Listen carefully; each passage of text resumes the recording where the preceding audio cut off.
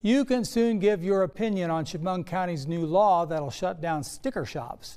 County Executive Chris Moss will hold a public meeting about the new law. It'll be on Monday, October 28th at 9 a.m. The location will be the Hazlett Building at 203 Lake Street in Elmira in the second floor conference room. The sheriff's office can seize anything inside the sticker shops and padlock their doors. The city of Elmira says it's working on its new version of the law.